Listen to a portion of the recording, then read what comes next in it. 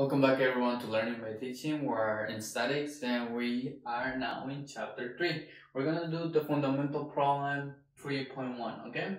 It says the crate has a weight of 550 pounds. Determine the force in each supporting cable. Okay? So we have this crate that is supported by these two cables. So this cable that's labeled that like cable B and let's label this guy cable A. So we have this ring A which has these two cables and we have this crate that has a weight of 550 pounds obviously going down. So the key of this problem is usually to draw a free body diagram. So I'm gonna draw a free body diagram from point A. So let's say this is my point A in my free body diagram. So I'll have a tension force that the cable C is doing. So that force, I'm gonna call it force C. Same for B. So I'll have a force going in that direction that the cable B is doing. And lastly, I have the weight, let's call it W for weight, that the crate is doing. So the summation of these three forces should be equal to zero in all directions, okay? So, um, let's not forget that this cable is represented by a 3, 4, 5 triangle, and then the, the force B is represented by a 30 degrees with respect to the x-axis. Okay, we also know that W is equal to 550. So in order to do this, we're gonna do that the summatory of forces in the x direction is going to be so.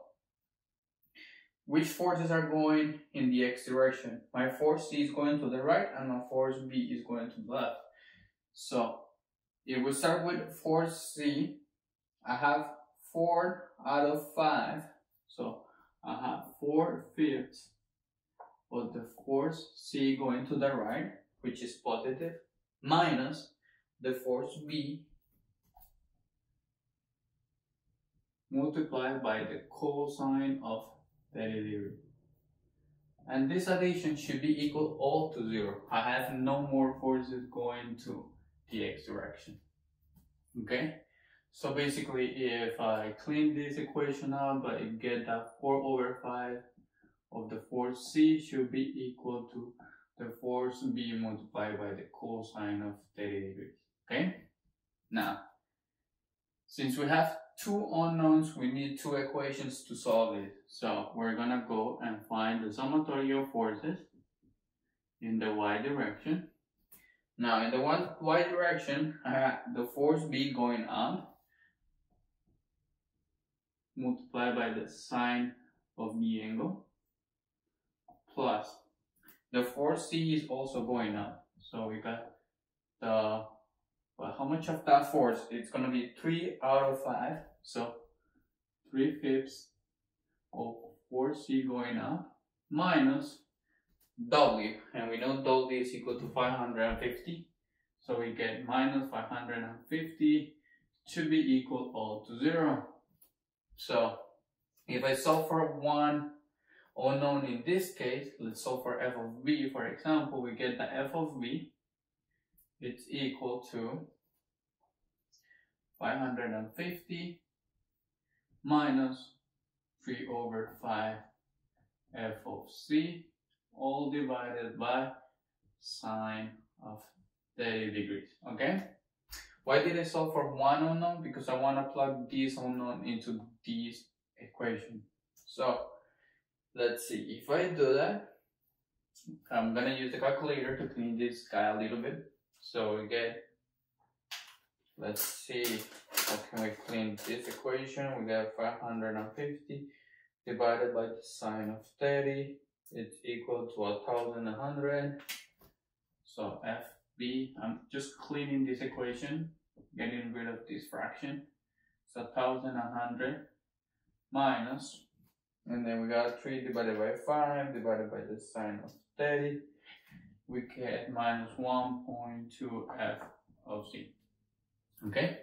Now, with this, I'm gonna plug it back in here and then solve for the equation. I'm actually going to use this one above.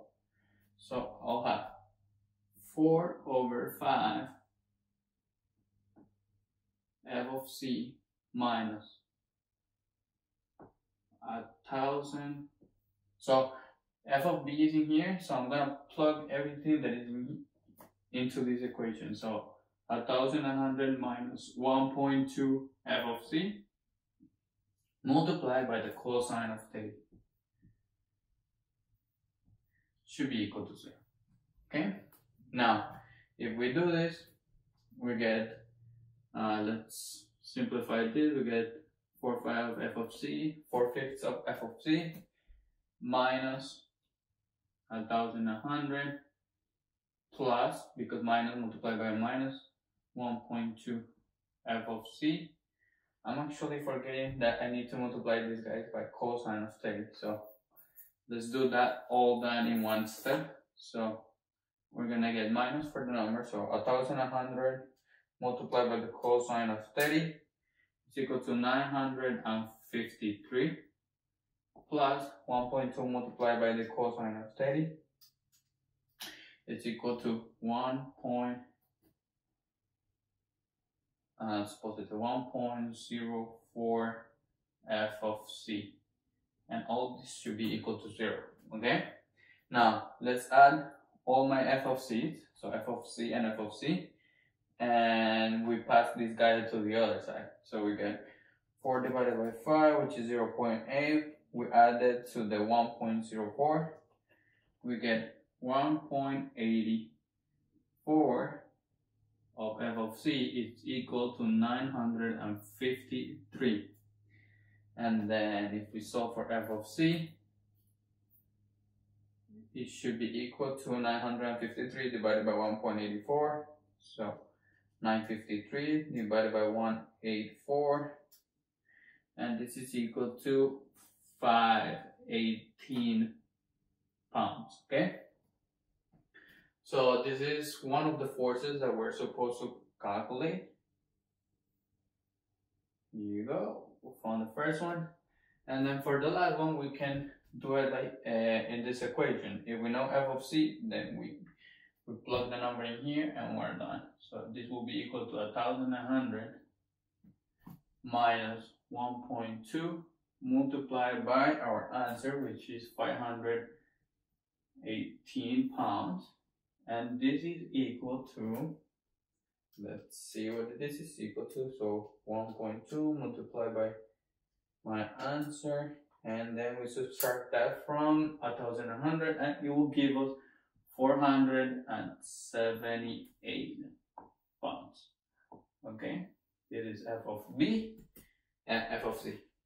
That was it for this video. Thank you guys for watching. Uh, if you guys have any questions or any suggestion, please let me know down below and I'll see you guys in the next video.